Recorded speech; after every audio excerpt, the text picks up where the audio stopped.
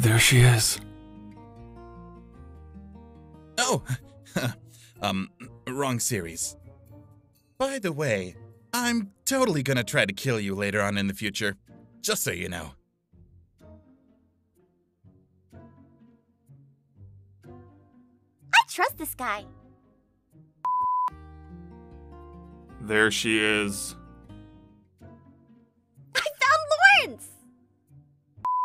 I want a cat.